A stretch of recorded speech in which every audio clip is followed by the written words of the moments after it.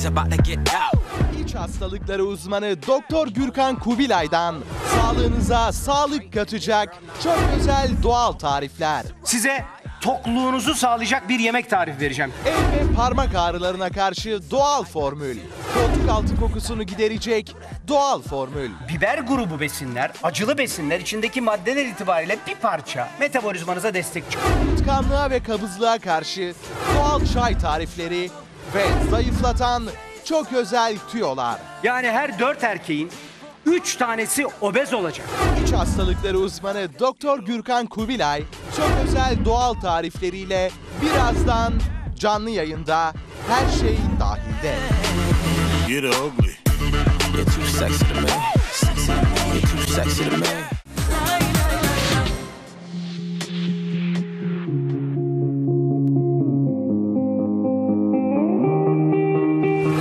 Seray Demirci 13 ayda tam 45 kilo verdi. Meryem Demirok 18 ayda tam 65 kilo verdi. Ve Ayşe Başak Kılıç 20 ayda tam 45 kilo verdi.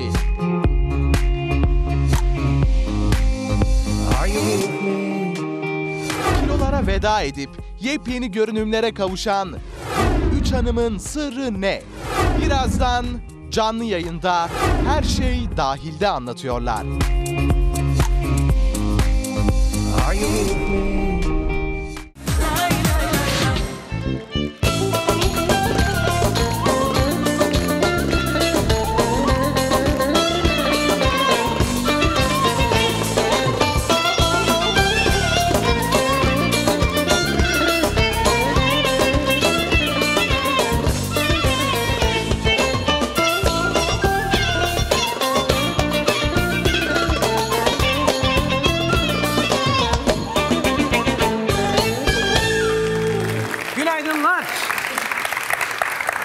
Kadar. Açılış bugün bu kadar. Günaydınlar. Niye bugün az para mı aldın? Niye Ha? böyle? Niye az para mı aldın? bugün? İsyan ederim evet. Ne isyanı? Senden daha az para alıyorum. Aa, ne alakası var be? Evet öyle hesapladım. Ama dün, yalan söylüyorsun. dün oturdum Ha, hesap, hesabını Evet. Çok fena kıskançsın. Sana neden geliyor bilmiyorum. Çok kıskançsın. E çünkü yani şeyden dolayı geliyor. İşte yani anne sütü işte. Baba bıyıklarıma bebek bak, bezi. bıyıklarıma Bakayım. Ay çok iyi olmuş bıyıklarım valla. İyi ki Bugün böyle. yeni bir imaj yaptım. Çok Sakallarımı belli oluyor kısalttım. çok evet. Bak bıyıklarım çok sert bak. Kaşındırır ha. Ay. ya hayır ya. Allah Allah. Kaşındırıyor çok Kaşındırdı öldü. Bak monitörü. Baksana. Ay. çok. Bak bak. Şu düzeltiyor şu kaymış. Ay şu ya çok kötü. Sabah sabah Ayşe'nin bıyığını konuşuyoruz yani. Böyle bir şey hiç gerek yok diye düşünüyorum. Bence konuşacağımız. Çok daha önemli şeyler var. Neler var? Neler var? Sen bir Neler aç. var? Bak getiriyorum sen aç. Yine aç getir. Sen aç. Bu Bak. arada bugün gelecek olan konuklarımız eee, doktorumuz Gürkan Kubilay'ın daha önce stüdyomuza teşrif etmiş. İşte ne bileyim kimisi 30 kilo verdi, kimisi 40 kilo verdi ama acaba istikrarlı bir şekilde devam ediyorlar mı? Bunu görmek için onları bugün tekrar stüdyomuza davet ettik. Bakalım e, en son görüştüğümüzden bugüne kadar kaç kilo daha verdiler? İstikrarlı Hala devam edebildiler mi? Biz Daha hala devam şeyimizin peşindeyiz. Yani geldi çıktı buraya iyi hoş ama bakalım aradan ne kadar zaman geçti. Hala kilo vermeye düzenli beslenmeye devam ettiler mi göreceğiz. Az sonra Gürkan Kubilay bizlerle birlikte olacak ve efsane programlarımızdan bir tanesi gerçekleşecek. Ama biz Sezonun yıl- son Gürkan Kubilay'ı ona göre kaçırmayın ona göre. hanımlar. Vallahi bak bir Kağıtlar, daha- bir daha kalemler yok, bir hazırlansın. Sezonun son Gürkan Kubilay'ı bakalım bugün bize ne sürprizler yapacak, ne gibi yenilikler, ne gibi yeni şeyler anlatacak. Yaza girerken daha girdik daha girmesi mi var? işte yani Yaz girdik de içerisinde. girdiğimizi hissedemediğimiz şu günlerde diyebiliriz. Çok önemli formüller verecek hanımlar için. Az sonra iç hastalıkları uzma- uzmanımız Doktor Gürkan Kubilay bizlerle birlikte olacak. Ama onun öncesinde biliyorsunuz ki artık önümüzdeki hafta sezon finali. Biraz nostalji yapıyoruz. Nostaljiye Artık her devam tatlı ediyoruz. Tatlı. Yıl 2008. Evet. Sevgili çok istediğimiz ama sonrasında Bu bir sene kere gelen ve konuk edemedik bir yani. daha gelmeyen, buradan da sitemimizde atalım gelmeyen konuklar artık bir şey bitiyor ya, program bitiyor ya. Senin de atacağın sistemler var mı? Atacağım sistemler var. Haftaya Cuma çok fena bir sistemim var. Haftaya Cuma Bak. Bak dedim Biz- yapma dedim. Söylemedim. Şöyle bir başlangıç- şöyle bir başlangıç Bak yapayım. başlangıcı yapıyor bak şimdi ama kim olduğunu söylemeyecek. Yap. Şimdi yaklaşık dört buçuk yıldır bu programı yapıyoruz. Dört buçuk yıldır birçok sanatçı ağırladık. Büyüğümüzü ağırladık, sanatçı arkadaşlarımızı, dostlarımızı ağırladık. Defalarca bize gelen sanatçı büyüklerimiz, sanatçı arkadaşlarımız oldu.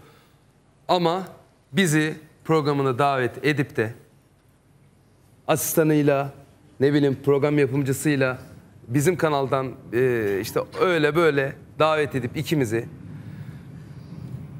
Programında da söz verip, bize konuk olacağına söz verip ta geçen yıldan beri bu sene de konuştuğumuz, mesajlar attığımız, telefonlar açtığımız, asistanlarına haber yolladığımız, ikimizin ayrıca sesli mesajlar gönderdiğimiz ama hiçbir şekilde bize dönmeyen ama bütün programlara katılan biri var ki onun hakkında Cuma günü ya hakkında değil Daha ne konuşacağız zaten söyleyeceğiz. İsmini söyle. vereceğim. İsmini vereceksin. Çünkü eee, Kırıldı o, üzüldü şimdi. O haklı. Sen- Ben de ben de kırıldım. Ben de yani kırıldım. Bu yani. kırıldık olabilir. ve üzüldük. Eee önemli Kırmayın değil. bizi. Üzmeyin bizi. Bak. Bu Olsun, bu e, bu bir 100 metre koşusu değil, bu maraton koşusu ve küçük bir camiayız. Hepimizin birbirine ihtiyacı olduğu zamanlar, ihtiyacı olduğu e, günler oluyor. Olacak da bundan sonra da olacak. E, bunu Cuma günü açıklayacağım. Bu ismi. Cuma bu günü, ismi Cuma evet. günü açık. Yazın. Açıklay açıklayacağız. Sonra kaçacağız tabii biliyorsun. Bir daha program olmayacak. Açıklayacağız, bitireceğiz. Rahat rahat konuşacağız. Peki yıl 2008 sevgili Yıldız Tilbe konuk olmuştu. be. Yani bütün program onun muhteşem Kıyafetini şarkılarıyla geçmişti. Yok hatırlamıyorum. Bir kot giymişti ya. Şurasında yamaları vardı. Ha, kendisi yapmış, Kendim yaptım, yaptın demişti. Evet. Evet. O programa bir gidelim mi hep beraber? Sonra Doktor Gürkan Kubilay burada. Haydi.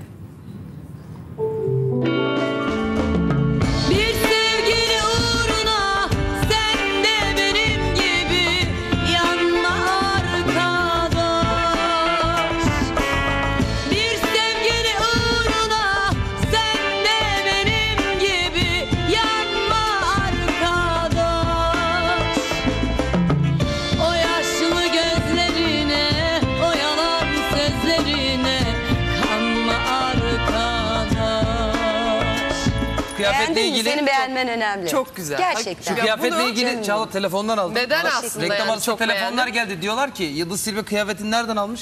Bize de Ay çok teşekkür Söyleyebilir ederim. misin? O Bunlar- zaman söyleyin. Söyleyeyim hayatım. Akşam canım sıkıldı benim ne giyeceğim size diye.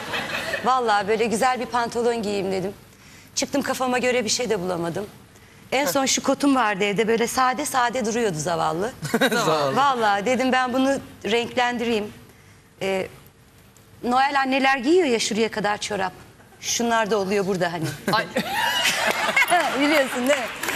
O çorabı Evet, ikiye anladım. kestim.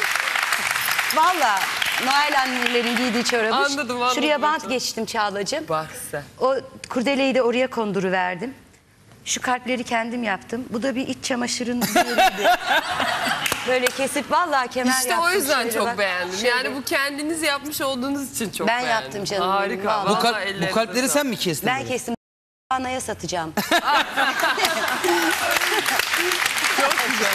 Teşekkür ederim. Eminim kendiniz de bunun içinde çok rahat hissediyorsunuz. Ama değil çok mi? rahat bir kot olduğu için bunu yaptım. Yoksa bir sürü kotlarım vardı böyle dar, daracık. Ama içinde hareket edemiyorum böyle. Bunu çok Ben de öyle sıkıldıkça parçaladığım Ay, hiç evde sevmiyorum oluyor. dar ben şeyleri. yani böyle parçalıyorum evde sıkıldım diye. Aynen. Ertesi gün giyecek bir şey bulamadığım zaman cart çurt ayırdığım benim de çok oluyor. Peki Yıldız bir de Silve, modernsin ekstra yaparsın yani bu işi. Teşekkür peki Yıldız ederim. Silve imaj için hiç kimseden destek alıyor mu? Çünkü her albümde aslında sen imaja çok önem vermiyorsun. Hani ne giysem çıkarım Ya diyorsun bir ama yandan evet önem Ama bir vermiyor ama imaj bir da yandan var. da bir, bir farklılık oluyor her, her albümde bir farklılık var yani. E, tabii olacak yani o kadar mecburen oluyor ama imajdan hoşlanmıyorum ben. Çünkü taşıyamayacağım şeyi niye giyeyim ki yani? Hani buraya böyle bir süs bebeği halinde de gelebilirdim. Böyle ama istemiyorum yani ya da filan. Gerek yok hani.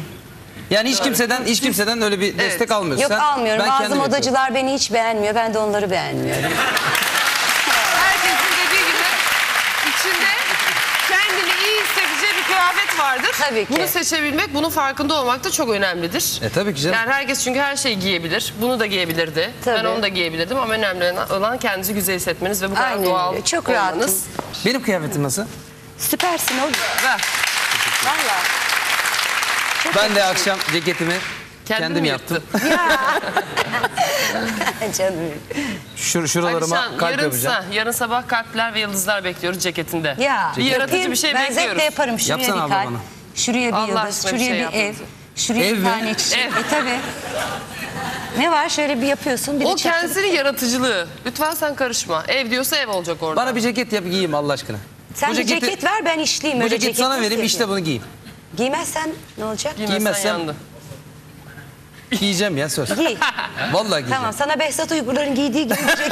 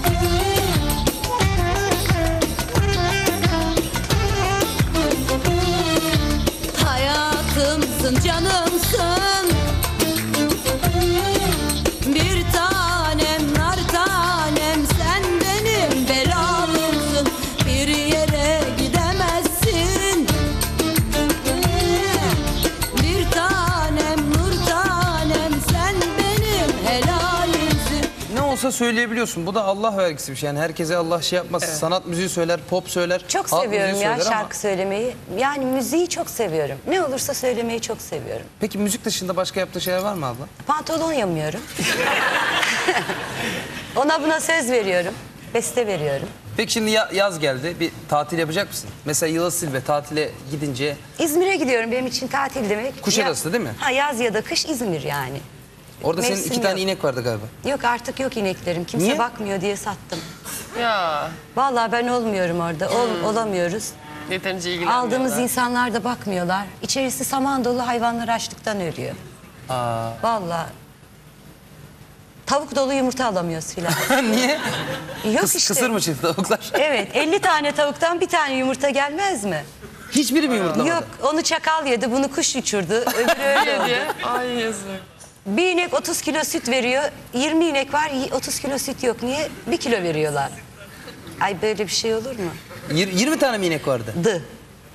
Hepsini sattın mı? Hepsi gitti. Baktım tane- hayvanlar tek tek gidiyor açlıktan. Ay yazık. Var ama açlıktan Niye ölüyorlar. iyi bakmıyorlar orada kimse Ay yok muydu? bakmıyorlar. Ay. Gelen de yani hep diyor biz en iyiyiz bu konuda. Biz işte hayvanların içinde büyüdük. Bahçede zeytin ağaçları var. Zeytinlerin içinde büyüdük. Biz öyle yaparız, böyle yaparız diyorlar. Gelince her şeyi unutuyorlar sanki. Bildiklerini vallahi. Peki senin 20 Çok tane inek bıktım. hani 50 tane tavuk almanın nedeni şey mi? Hani böyle onların sütüyle yumurtasıyla besleneyim ya da hani böyle bir çiftlik mi kurmak? Ya bir tane inek aldık doğurdular ne yapalım yani. bir anda niye baktık. almıştın yani mesela ineği? Ha? Niye, niye mesela almıştınız ineği? Hani böyle bir Sütünü çiftlik içeriz, havası, seviyoruz yani. değil mi? Tabii. Ben Ne bileyim seviyorum. genelde insan kedi alır, köpek alır, kuş Yok. alır falan. Ay ben evde kedi köpek nefretim yani. Ve hiç hiç. bakamıyorsunuz. Ay asla onun tüyü ağzıma burnuma, kaşıma gözüme çıldırırım. Oturduğu yerler bembeyaz kedi köpek. Hiç dayanamam ama e, bahçe bahçede severim. Bahçede olabilir. Bahçede kedi de seviyorum, köpek de bütün hayvanları seviyorum. Ama benim yattığım yere saygılı olacak, yatmayacak.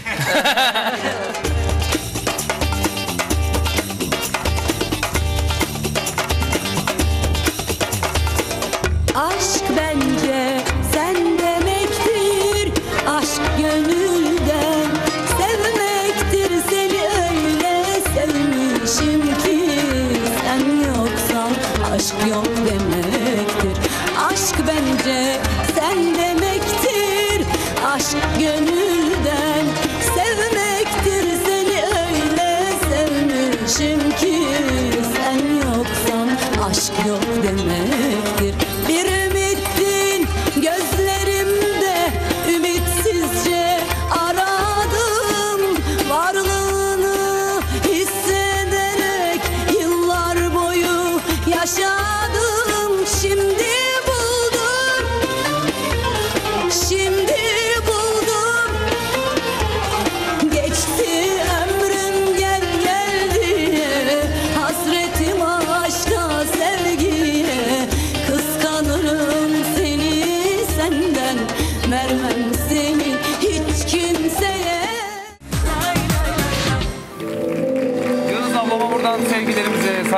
gönderelim. Selamlarımızı yolluyoruz. Şimdi bugünkü konumuz bakın neler neler var. Neler neler var. El ve parmak ağrılarına doğal tarifler, koltuk altı kokusuna karşı doğal önlem, zayıflatan çay tarifleri, zayıflama tiyoları, kansızlık problemi olanlar için tarifler, unutkanlık için tüketilmesi gerekenler, karpuz çekirdeğinin faydaları, kirpik uzatmanın doğal formülü. Anam bu önemli.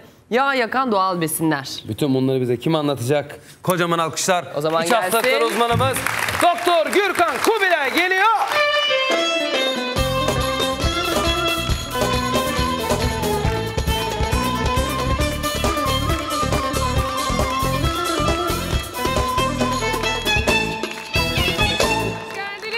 Merhaba efendim. Hocam bir bilyeyle geliyorum, bir şeyle geliyorum. Bir, Bir balonla geliyorum. Bugün karpuz geldi. Ama bu karpuz sayesinde bugün sabah arabamı çalıştırabildim.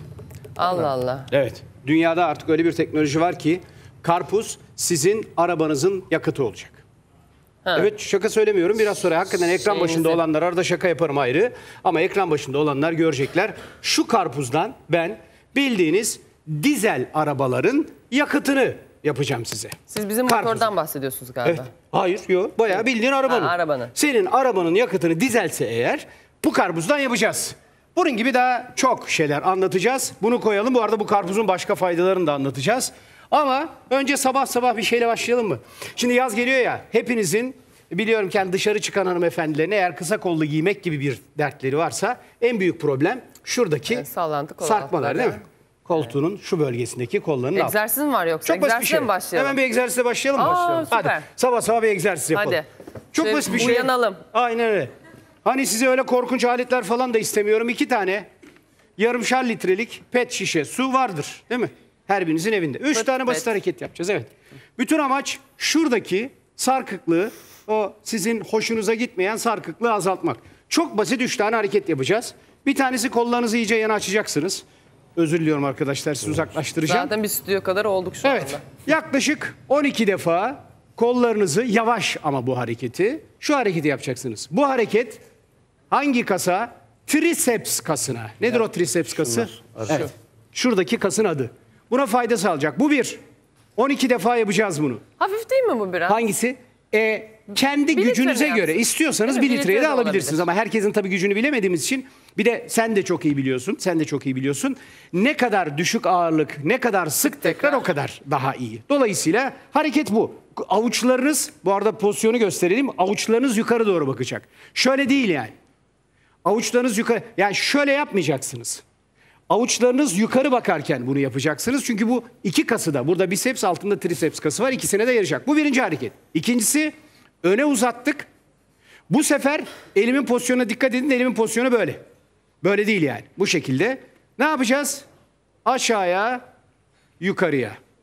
Aşağıya, Son derece basit. yukarıya. Çok basit ikinci hareket. Her biri 12'şer tane ve her yaptığınızda 3 defa 12'şer tane yapacaksınız. 3 çarpı 12 yapacağız. Aynen. Tamam. Ve üçüncü hepsini bir, birlikte göstereceğim. Ve üçüncü hareket yukarı kalkacak. Elin pozisyonu böyle. Avuç bu sefer karşıya bakacak. Yukarıdaki su şişesini hafifçe ensenize doğru. Ama enseyi çok hareket ettirmiyorsun. Yani ense böyle olmayacak. Ense dik dururken yukarıdan aşağıya doğru ensenize doğru sırtımı da göstererek yapayım. Sırtımdan da yapayım bunu. Yukarıda al- arka kol çalışıyor. Evet. Şuraya.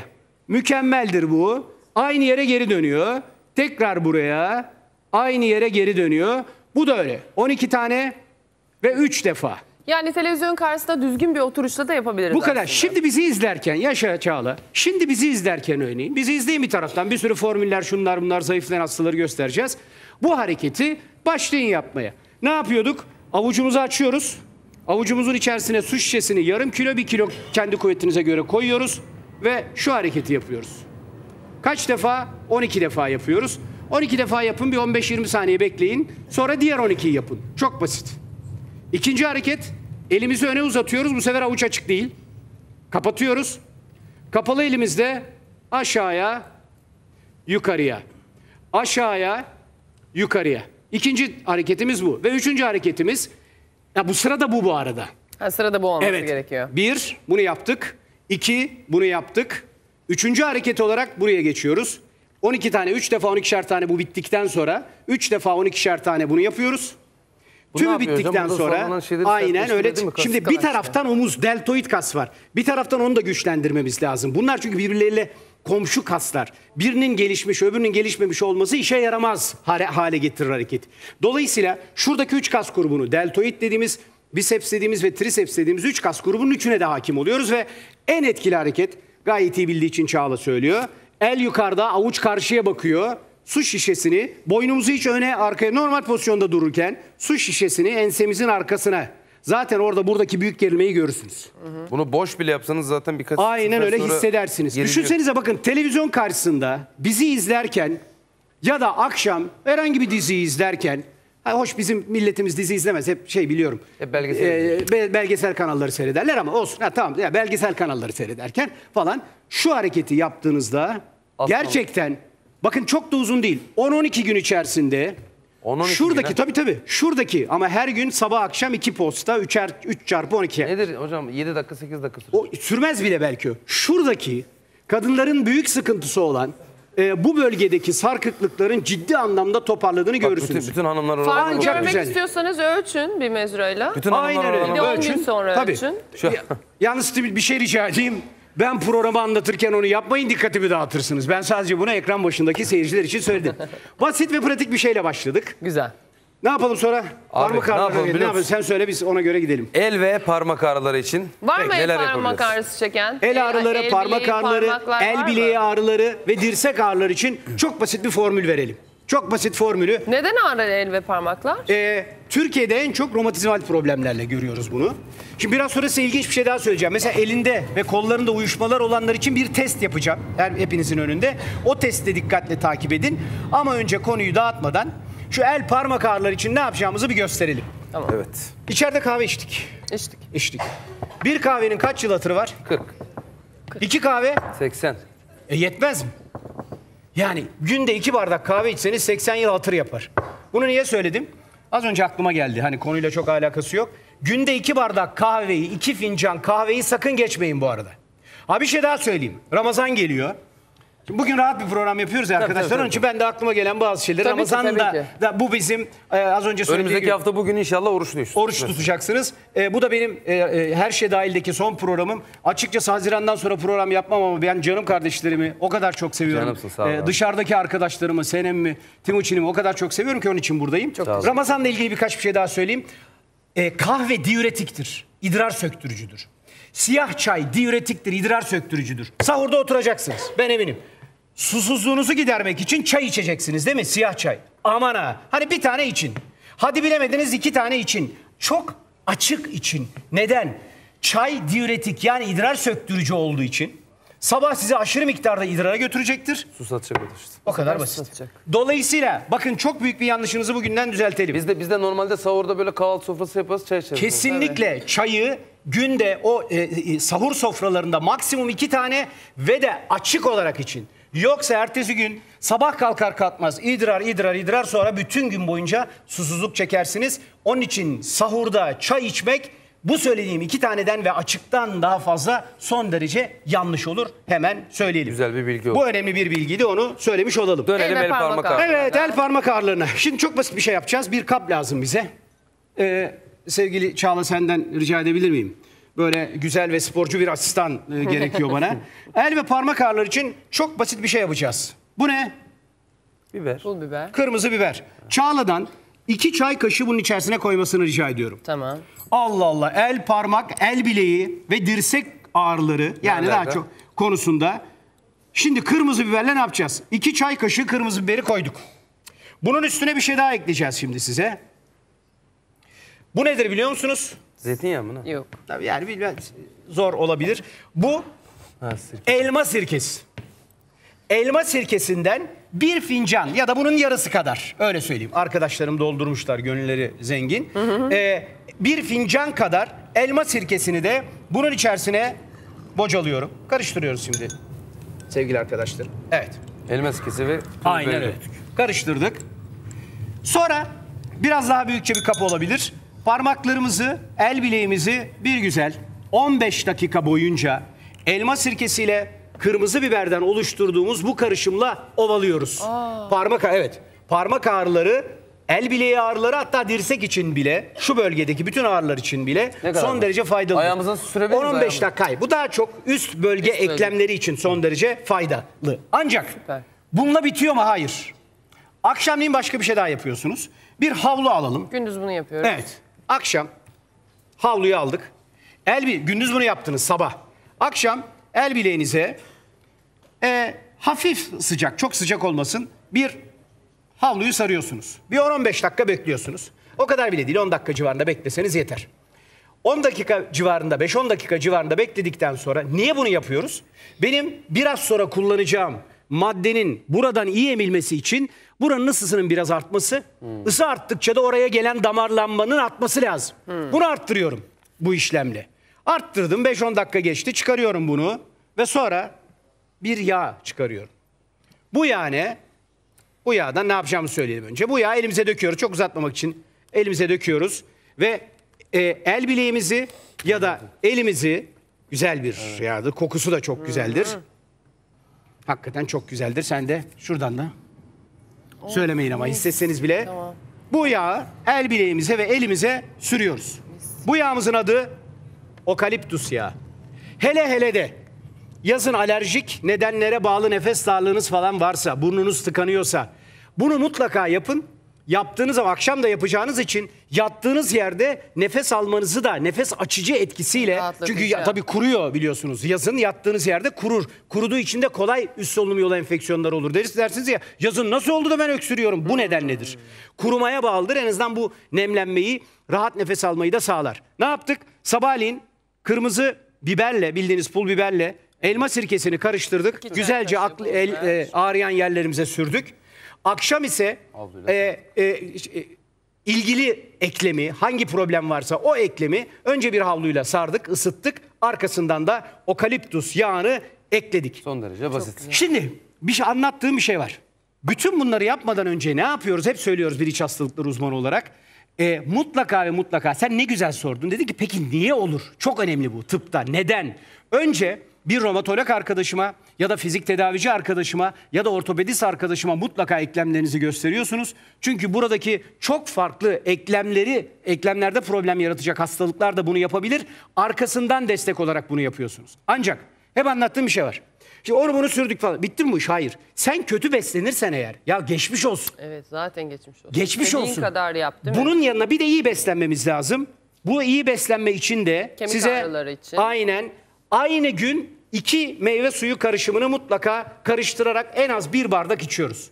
Bunları sabah ve akşam yaptık. Ee, günün herhangi bir saatinde de bir bardak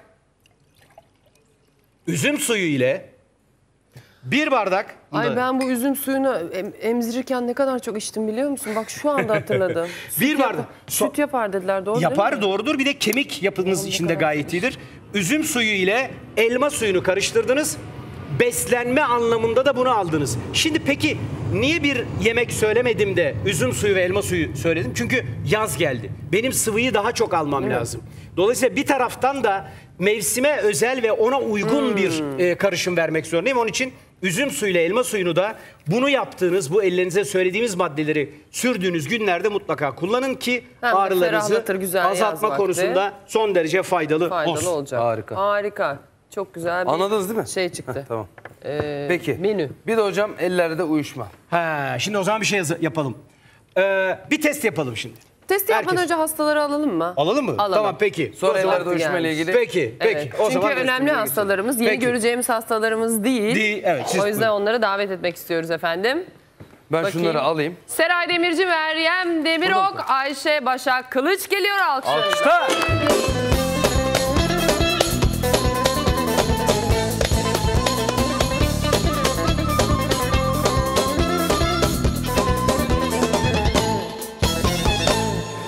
Hatırlıyorum. Baya ne oldun sen böyle? Merhaba. Baya ne oldun yani? Bayağı manken oldun. Sen de bayağı zayıfladın. E, tekrar hoş Sen de geldiniz minicik hepiniz. kalmışsın. Hoş geldiniz. Merhaba. hoş geldiniz. Alalım hocam Hoş geldiniz. Bir tanesini ne- oraya alacakmışım. Tamam. Hatırlıyorsunuz değil mi daha önceki programlarımızdan ikisini de? İnanılmaz. Bu serayımız. Seray. Bu serayımız. Ay. Herkes fotoğrafının yanına geçebilir. Herkes fotoğrafın yanına geçsin. Herkes fotoğrafın yanına. Ayşe.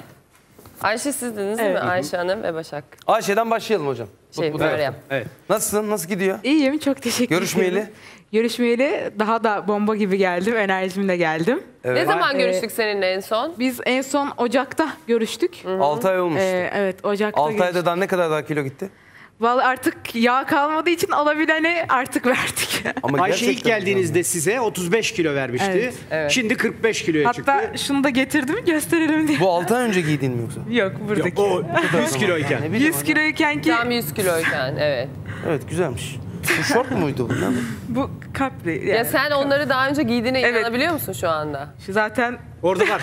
Burada var, onu getirmiş. getirdim. Evet, evet. O tişört Yarısı tişört. kadar şu anda. ve o pan, e, şey mi? E, o da şort yok galiba. o yok da bu Başka şortu. Evet. Ayşe size ilk getirdiğimizde e, bunu e, Çağla ve Alişan çok da iyi birer gazeteci oldular. hakikaten. Evet, takip ettik Çünkü vallahi. bize dediler ki hocam çalıştık." tamam son programa geliyorsun falan da bir sürü hasta getiriyorsun bize. Her geldiğinde ikişer üçer tane. E bari onlar ne oldular görelim ya geri aldılarsa. E, tabii burada çok fazla getirme şansımız yok e, e, stüdyo yapısı itibariyle. Biz de üç tanesini getirdik. İlk hastamız Ayşe kızımızdı. E, Ayşe size 6 ay önce geldiğinde 35 kilo vermişti. Aradan geçen sürede bir 10 kilo daha verdi. Ve toplam 45, 45 kiloya kilo çıktı. verdi. Anlatacağız hepsini. Neler yaptıklarını anlatacağız. Peki Evet. Ayşe bu 6 ay içerisinde artık iyice beslenme şeyin. Çünkü Gürkan hocamın hastalarının hepsi e, bize şunu söylüyor. Biz diyet yapmıyoruz. Ne zaman acıkırsak o zaman yiyoruz ki e, sanki midemizin içinde bir alarm saat var. varmış gibi Evet ve o saat varmış saatte direkt ben artık anlıyorum acıktığım zaman ha, saatim geldi ve hiçbir zaman şaşmıyor. Çünkü artık alıştığım alıştığım bir düzen, her gün yaptığım bir şey ve hayatımın e, sonuna kadar yapacağım bir şey olduğu için Evet. doğru beslenmeyi öğrendim. Önemli olan bu. Diyet yapmayı değil, sağlıklı beslenmek nasıl bu ve Diyet hayat boyu ben yapmak, bunu evet, nasıl çünkü yaparım? gerçekten çok zor bir psikoloji olsa Evet. gerek. Yani, Yani- ben yaşamadım ama yaşayan çok arkadaşım var. Ve şimdi yüzüne baktığımız zaman 45 kilo vermiş birisi gibi mi? Adeta yüzüne sanki bir şeyler yaptırmış, bir dolgu yaptırmışçasına güzel görünüyor. Hocam ben üç gün yemek yemiyorum, beş kilo vermiş veriyorum. olmasına rağmen yüzünde hiçbir çöküklük yok. Ee, bir şey daha. görünüyor. Mesela son 6 aydır Ayşe'yle tabii daha az artık görüşüyoruz. Ama Ayşe'nin kliniğe gelip gelmemesinin önemi var mı Ayşe? Onu da söyle. Ne yapıyoruz? Kesinlikle yok. Zaten öncelikle ben şunu da söylemek istiyorum. İnternet üzerinden de gerek e, mail yoluyla zaten klinik danışmanlarımız olsun, e, diğer psikologlarımız olsun hepsi takip altında. E, cevap attığımız zaman hemen zaten birkaç Geri saat dönüyorlar. içerisinde geri dönüş sağlanıyor. Onlarla çok güzel bu şekilde iletişim kurabiliyoruz. Peki Ayşe en çok zorlandığın dönem hangisi oldu? İlk başladığın dönem mi yoksa çünkü belli bir dönem böyle kilo vermek duruyor değil mi hocam? Yani Ya ben şunu söyleyeyim tabii ki her insanın hani ilk önce morali bozuluyor, kilonun durduğu zamanlara eyvah ben ne yapacağım işte veremeyecek miyim kiloyu böyle durumlar oluyor. E benim de zaman zaman böyle durumlar oldu ama tabii ki önemli olan burada psikoloji E, hani yılmadan yola devam etmek bu işi başaracağım demek. Biz de bunu yaptık onu özellikle söyleyeyim. E, ama ilk başlarda tabii ki bir zorluk olabiliyor hani çünkü tamamen farklı bir şey hayatınıza yepyeni bir şey giriyor. E, ve bunu öğreniyorsunuz ama onun dışında zaten olayı çözdükten sonra, sisteme oturttuktan sonra hiçbir problem kalmıyor. Harika. Tüyo verelim. Her hastada bir tüyo verelim. En çok ne yaptık o hastamızda? Güzel. Şimdi o 45 kiloyu verirken e, birçok silah kullandık da ama benim söylediğim hep bir şey var. Biz benim kendi hastalarım en azından o şansı sahip oldukları için onlara özel listeler yazıyoruz, hazırlıyoruz. Ama mesela Ayşe'de çok başarılı olan bir yöntem. Şu madde. Ne bu? Zencefil. Zencefil. Zencefilin iki özelliği var. Sindir, zencefil mutlaka kullanın. Nasıl kullanacağınızı söyleyeceğim. Ayşe 45 kiloyu verirken Ayşe'nin en büyük silahlarından bir tanesiydi. Zencefili biraz sonra çok ilginç bir yerde de kullanacağız. Böyle terleme merleme derdi olanlar varsa onlar da takip etsinler. Zencefil aslında işte gebelik kolaylaştırma, kanser tedavisi şu falan filan birçok yerde yardımcı olarak kullanılıyor. Ama zencefilin en önemli özelliklerinden bir tanesi sindirim enzimlerini uyarıyor. Ayşe'de böyle bir sıkıntımız vardı bizim. Yani e, verdiğimiz maddeyi vücudun iyi emmesi lazım ki bir işe yarasın. Bu bir. İki, Ayşe sonradan büyük bir tempo kazandı. Yürümeye başladı. Metabolizmasına destek geldi ama baştan öyle bir sıkıntımız da vardı. Biraz da metabolik hızına katkıda bulunmamız lazımdı. Metabolizma Demek ki hastanın özelliğini öğrendik. Bir sürü sorular sorduk. Psikologlarımız, diyetisyenlerimiz, gıda mühendislerimiz. Baktık ki bir, bir kere sindirim enzimlerini biraz uyarmamız lazım. Bir. İki, azıcık da metabolik hızına denge vermemiz, biraz daha hızlandırmamız lazım. En güzel madde neydi? Zencefil. her şey yarıyor ya. Evet bu ikisi konusunda onun metabolizmasına çok uygun olduğu için ısrarla anlattığım bir şey var. 45 kilo verdi ama e, e, Ayşe'nin listesini e, Meryem'e versem böyle bir etki elde edemeyebilirdik. Hastanın ihtiyacını anladık. Dolayısıyla zencefil birçoğunuzun evde çay olarak ya da çiğ biraz balla karıştırarak Günde bir ya da iki kez deneyebileceğiniz bir şey. Çünkü bize şu anda ekran başında izleyenler hocam tamam senin hastaların kilo veriyor da biz burada ne yaparız diyorlar. Evet Ayşe söyledi dünyanın neresinde olursanız olun internet üstünden tedavi şansımız var ama bunu yapamadınız. Zencefili kullanın. Biraz sonra bu tür tiyoları vermeye devam edeceğim. Ayşe ile ilgili olduğu için zencefili söyleyeyim dedim. Siz Harika. devam edin arkadaşlar. Ayşe şimdi mutlu bir şekilde hayatına devam ediyor. Aynen öyle. Her zaman şu an inanır mısınız e, sa- 10.30 ara öğünümü yaptım ve hani her Neydi? daim kuru kayısıydı bugünkü öğünüm. Onu hemen aldım. Onu, Onu da yedim. duydun mu kız? Ama ara öğünüm artık alıştı. Sabah- Böyle- sabah sabah kaçta? kahvaltısından sonra. sabah kahvaltımı yaptım geldim. Peki atıyorum gece işin oldu veya gece çok geç yattın. Sonra sabah ne yapıyorsun? Sabah na- rutin olarak ne zamansa Ya kahvaltımı onu göre yapıyorum. kendine göre. Soruyorum İşten geç geliyor. Günde kaç öğün yiyor? Altı öğün yiyorum. Üç ana öğün, üç ara öğün. İşte ben günde 6 öğün yesem benim ara öğünler ana Çok öğün. yiyoruz. Çok yemeden kilo veremeyiz. Ama ara öğün dediği şey düşünsene 3-4 tane kayısı yani büryan değil. Tabii. Yani bu sistemde şu var. İnsülin direnci hastalığı olduğu için anlattık artık hepiniz öğrendiniz. Onu çözünce dediği doğru ama Çağlay'ın. Yani 2-3 tane bir şey yiyince şimdi sistem 3 şeyi yarıyor. Bir, 3 saatte bir acıkıyorsunuz. Hocam şimdi önünde İki, bunu- kolay doyuyorsunuz. Şimdi önünde Ayşe'nin mesela a- açken ben şey yesem atıyorum ben kebap yedim şey yedim böyle çapırdadı çapırdadı şey gibi yedim. Yemeyecek mi o? Sen canın alışıyorsun. çekmez mi? ben şöyle söyleyeyim. Kaçamaklarında ben zaten sizin yediklerinizin aynısını yiyorum. Ne, ne kadar kaçamak o? İstediğimiz kadar. Yani Haftada sınırı bir gün? Bir Haftada gün, üç gün. bir Ama senin gibi ay- oturup bir buçuk porsiyon bir tane dana yiyemiyor onu anlamıyorsun. Çünkü Ufak yiyor, ihtiyacı yok. Az yiyor ve doyuyor. Nefsi köreli, köreltiyor nefsini zaten yiyor Ama ve neden ama bitiyor. neden ama bak ben Midesi hastayım. küçük. Ben hastayım. Sen İnsülin direncim düşük benim. İnsülin direnci problemi varsa hakikaten bunu çözmek zor. Burada hocam bir seyirciye soralım mı? Soralım. Mesela ne kadar yemekle doyuyorsunuz ya da a- atıyorum işte ekmek kaç ekmekle kaç öğün yemekle? Acayip olan varsa mesela günde Evet, bir aşırı ekmek, bir bir buçuk şey ekmek yani. yiyorum diyen var mı Yeme, içinizde? yemek bir ekmek yiyorsun Bakın, ama sen gayet de zayıf. Bir versene bir versene. Gayet de zayıf. zayıfsın. Evet. Nasıl? Bir ekmek mi yiyorsun? Ben yani sıcak olduğu zaman bir ekmeği yiyorum. Sıcağı Soğuk ben de. Soğuk olduğu zaman yarım ekmek. Soğuk Her, sayarım her öğün mü bir ekmek günde mi bir ekmek yiyorsun? Akşamları çok yiyor, yiyorum. Gündüz Bir sabahları kalksana da ya. Allah aşkına bir kalk bakayım. Akşamları çok. Bir ayağa kalksana. Sen nasıl bir ekmek yiyorsun ya? Al işte. Metabolizma böyle bir şey. Metabolizmanın hakikaten Benim nasıl gillerden. çalıştığını öğrenmek Yemek bile çok, çok, zor. yiyorum. Üç tabak yemek yiyorum. Tabii. Salatası cacığı hariç. Sen kötü bir örneksin. Bir şey yapalım. Sesini Ama kısın yani- hanımefendi. Sıfır. Harika Şimdi- işte metabolizma. Ama ama mesela Meryem'de tersi vardı. Ee, Meryem'e de sorarsanız Dönelim o kendi Meryem'e. anlatsın evet. Nasılsın? Teşekkür Meryem'in ederim. şeyini alalım nasılsınız? şöyle. Sağ ol teşekkürler. Onunkini yanımıza alalım. Meryem 170 kilodan 105 105 kilo. Ya düştü 65 kilo verdi müthiş bir şey. Ama kızdı bana dışarıda 65 değilmiş. 67. 67 olmuş. Ha, Ha, her 67 gün ise. tartılıyor musun? Ya her gün değil de haftada bir kere tartıyorum tabii ki. Yok güzel. Güzel kural bizde. iki haftada bir tartarız. Meryem biraz tabii o kadar büyük kiloda olduğu için sabırsız. Normalde zaten bir insanın günde kaybedeceği yağ miktarı 100 gramı geçmez. Günde 100 gramdan fazla Daha kaybedemezsiniz. Boşuna tar- heveslenmeyin Su yani. kaybeder. Daha fazla su Aynen. kaybeder. Değil mi? Yani şu çok önemli. 170 kilo. 170 kiloda olan birçok hasta işte şu anda birçok tıbbi e, şeyler de yapılıyor. Ameliyatlar. Tedavi, ameliyatlar falan filan. Sen onu tercih öyle etmedin. şeyler. Neden? Yani doktor hocama sordum zaten. Asla tavsiye etmiyorum dedi. Yoksa bu Ve ko- senin kolay yöntem bana kilo geliyor yani. inandığı Hı hı, ve tabii sen ki de de, tabii inandığın ki için de, bu yolu de. tercih Evet, ettiniz. evet. Değil mi? Ya Meryem de öyle mesela bize çok sık gelemiyor. Ama fark ediyor mu Meryem? Tabii ki hayır hocam. Ayşe'nin dediği gibi maille 7-24 dünyanın her yerinden is- herkes mail atabilir hocamıza yani bu şeye başvurmak Bir isteyenler. şey soracaksın. Şunu yiyebilir miyim? Mesela basit Tabii bir ki soru. de, Canım hı hı. çok çekti. Şunu yiyebilir miyim diye tık tık yazıyorsun. Kendi Tabii, şeyleri. tabii. Tabii, tabii. Kendi diyetisyenleri var, kendi psikologları var. var. Gün boyunca istediği kadar mail atıp sorup öğrenme şansına sahip. Dolayısıyla Amerika'dan da, Karadan'dan da, Sinop'tan da, Ağrı'dan da hiç fark etmiyor. Sistem yürüyor. Şimdi e, tabii sen çok önemli bir şeye e, vurguladın. Yani 65 kilo ve yüzüne bakın. Hep vurgu bunu bu ülkenin doğru düzgün iş yapması için vurguluyoruz. 65 kilo vermiş birinde ne avurtlar kalır, gözler içeri çöker, mod aşağı düşer, hayatından nefret etmiştir. 65'i bırak hocam 5 kiloda oluyor onlar. 5 kiloda bile olur. Ama Meryem'e dikkat edin. Hiç bu tür bir problemi yok. Peki Meryem senin en çok yediğin neydi? Sizin adınıza bir soru sorabilir miyim? Müsaade eder misin? En çok neyi mesela abes herkesin mesela hanımefendi ne dedi? Bir ekmek yiyordum. Sen en çok ne yiyordun? Önceden mi hocam? Evet. İştah anlamında da evet. Ne yemiyordum ki diyeceksin. En çok neye Tabii ki. dayanamıyordun? Çikolata Pasta tabii mı? ki, Çikolataya çikolata. dayanamıyordun. Çikolata Özellikle tabii ki. sordum. Çikolata. Meryem tam bir çikolata delisiydi. Tam bir. Onu tedavi ettik. Peki bu süre içerisinde 18 ayda aklına çikolata geldi mi? Hayır hocam. Hocam peki bir soru sorayım. Bazı gelmedi. insanlar var çayına 5 tane şeker atıyor. Gözümün önünde. Adam zayıf. Bak meta ama kaç tane öyle adam var?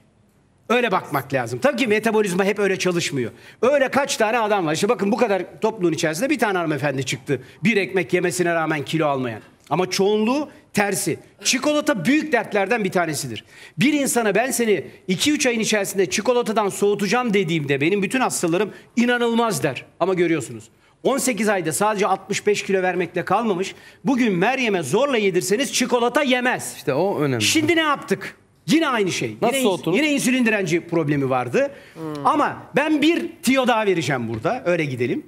Şimdi Meryem'in böyle bir iştah, yediğinden tat alamama gibi bir sıkıntısı vardı. O yüzden mi Yediğinin- çok yiyor? Tabii. Yani o çok önemli bir şey. İştah yediğinizden tat almakla da ilintili bir şeydir. Şimdi öyle bir madde var ki bunu hakikaten e, Amerika'da Wheeling Jesuit Üniversitesi de saptamış. E, bunu kokladığınızda sizin o koku duygusu, onun güzel kokusu sizin iştahınızı baskılıyor bir. Yemek sonrası tokluk hissinizi arttırıyor iki. Yemekten aldığınız tadı arttırıyor üç. Bunu niye anlatıyorum? Yine aynı yere geliyoruz. Herkesin bize ulaşma şansı yok. Burada bizi izleyen herkesin yapabileceği pratik şeyler anlatıyoruz. Bu madde nane. Allah Allah. Müthiş bir bir daha söyleyelim. Yemekten aldığınız tadı arttırıyor. Kokusu sayesinde yemek sonrası doygunluk hissini arttırıyor ve yemeğin tadını düzgün alabildiğiniz için de yediğiniz miktar azalıyor. Ama naneyi tek başına değil. Öğlen yemeğe gideceğim de biraz. Bir şey, bir şey daha ama şimdi tek başına değil. Bazı şeyler daha ekleyeceğiz ona. Beslenme sistemi daha öncesinde e, sana benzeyen olanlar kendilerine bunu örnek alabilirler. değil mi? Kesinlikle bakın aşırı miktarda çikolata yiyormuş, aşırı Var miktarda mı tatlı aramızda yiyormuş. aşırı miktarda çikolata yani Çikolata sevmeyen var mıdır bilmiyorum. Bu ülkede çok azdır yani. Çok azdır yani. Şekersiz çay kullanan kaç kişi var aramızda? Şekersiz bayağı var aslında. Şekerli. Ama anlata anlata. Anlata önceden anlata. değil mi? Şimdi önceden hepimiz Ben alıştırdım aslında. kendimi mesela ben şekersiz çay Aynen içiyorum. ben de öyle. Beş En doğrusunu Tabii. yapıyorsunuz. Şimdi o onu nasıl kullanacağız? Naneyi, biber, domates ve bir şey daha göstereceğim. Bakın o naneyi tek başına kullanmayın. Salata dedin ya ben de onun üzerine hazırlatıyorum. Bu kişnişin tohumudur. Siz bunun yapraklarını düşünün. Biz yapraklarını hızlıca sabah haber verdiğim için bulamadı çocuklar. Kişniş yaprağı, nane, biber, domates ve eğer proteinden hoşlanıyorsanız üstüne biraz hindi eti, sevmiyorsanız biraz e, lor peyniri ekleyerek yapacağınız bir salata sizi daha sonraki saatlerde çok tok yapacaktır. Bunu niye anlattım? Mesela akşam oturdunuz sahurda e, olabildiği kadar uzun süre tok kalmak istiyorsunuz. İşte onun için bunu getiriyorum. İşte size mükemmel, çok da ağır yemek istemiyorsunuz ama tok da kalmak istiyorsunuz. Bu dörtlüyü, bu beşliyi diyelim. Bir araya getirin, bir daha sayalım. Yeşil biber, domates, nane ve kişnişin yapraklarını Yağsız karıştırıp karıştırsak? e, O da olur tabii. Yani protein yağsız yoğurtla veya lor peyniriyle karıştırırsanız daha uzun süre tokluk sağlayacaktır. Dolayısıyla sahurda yemek için de çok güzel bir karışım. Sadece o bizim 65 kiloyu vermek için değil, sahurda yemek için de karışım. Ha bir şey daha soralım. Gelmeden önce kaç öğün yiyordun? Tabii ki iki öğün. Duyuyorsunuz değil mi? Bakın Sadece iki iki öğün öğün yiyerek yani. 160-170 kilo olan Ama Meryem saat kaçta kaç arası yiyordun? onu da söylesin. Sabah, akşam, öğle hiç. Öyle, Öyle ara hiç öğünler sormuyorum. hiç. Hayır. Peki hocam niye o arada o kadar acıkmıyor? Ee, insülin direnci dediğimiz hastalığın iki çeşidi var. Ben de- iki yapısı var. Aynı ben Biri de. sabah yiyor, akşama kadar aklına gelmiyor. Birisi de diyor ki hocam saat başı acıkıyorum. Her ikisi de birbirinden farklı bulgular olduğu halde adı insülin direnci. Biz şunu yapıyoruz. Günde 15 kere yiyeni 5-6 kereye, günde 2 kere yiyeni de 5-6 kereye çıkarıyoruz. Birini aşağı indiriyoruz, birini çıkarıyoruz. Zaten e, güzel bir şey söyledi. Ayşe dedi ki zaten 3 saatte bir burada çalar saat var. Acıkıyorum. Bakın her hasta aynı şeyi anlatıyor. Dolayısıyla doğru saatte doğru besinlerle bunu yapabiliyoruz. Ama buradaki amacım ne? Herkesin yapabileceği yöntemler söylemek. anlattığım bütün şeyler bana uyuyor hocam. Tabii. Var var sende var. Bende Çok, kesin. var. Çok kesin bir şekilde var. Onu söyleyebilirim. Yemin ederim. Ben de mesela sabah yiyorum. Çok sağlam yiyorum mesela sabah.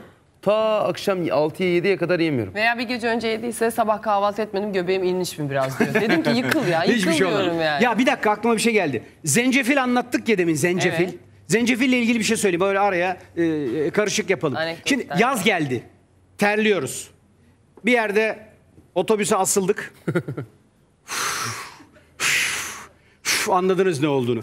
Ya kokmasın. Çok da şeyde bu e, e, bütçeniz yetmedi bulamadınız. Basit bir şey yapın. Ne bulamadık? Su sabun ya. Yani hiçbir şey bulamam. Daha etkili bir şey söyleyeceğim. Ne sürersen sür, kokunca Mutlaka. kokuyor. Daha etkili bir şey söyleyeceğim. Siz bir bardak sıcak suyun içerisine e, zencefili çiğ olarak. Bizim burada olması lazım ya. Bir dakika. Yapalım mı Bir ya? bulabilirsek.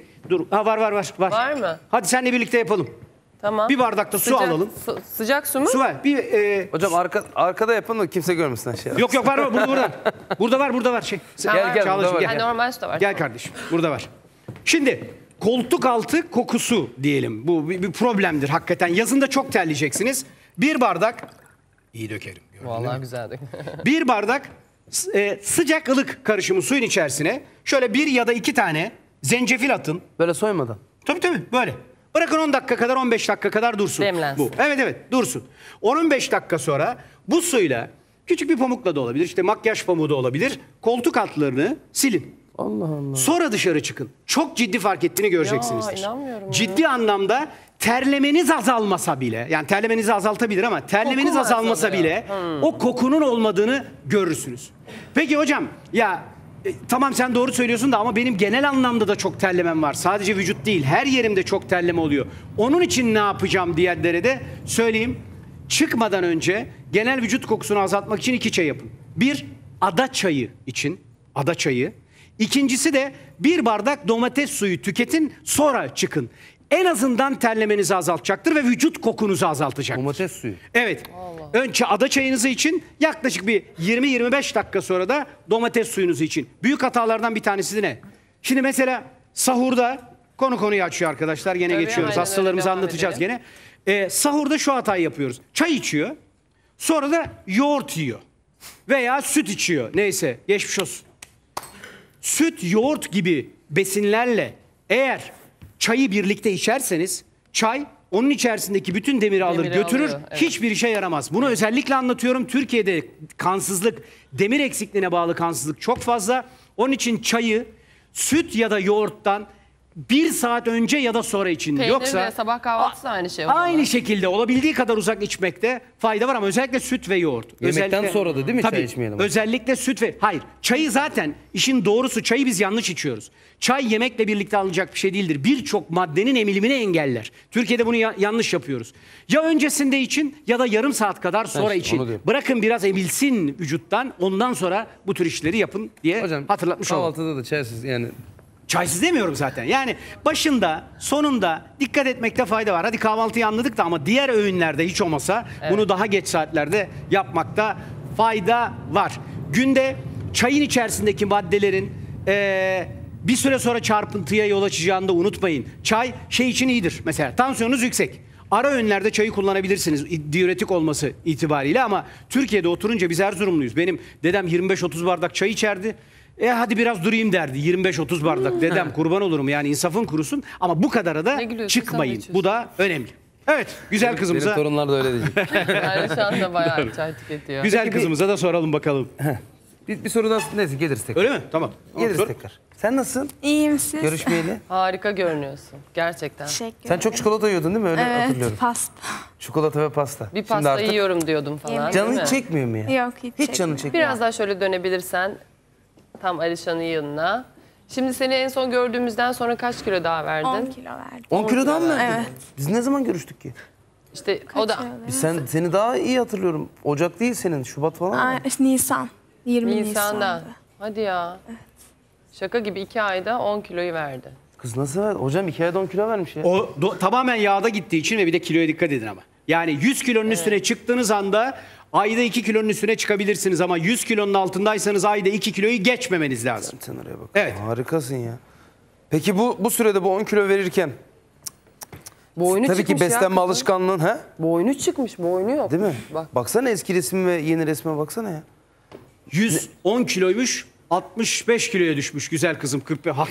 Peki ideal kilosu ne? Şeyi görüyorsunuz. İde, ideal kilosu ne şimdi? Ee, ideal kilo şöyle. Daha ne kadar daha verecek? Vücudunuzdaki yağ bakıyoruz aslında. Yani 110'dan 65'e düşmesinin önemi yok 45 kilonun. Hmm. O 45 kilonun e, yanlış hatırlamıyorsam benim güzel kızımda 42-43 kilosu doğrudan yağ zaten. Hmm. Geri kalan 2-3 litresi de su. Dolayısıyla hiç kas kaybımız yok. Tam tersi kas artıyor.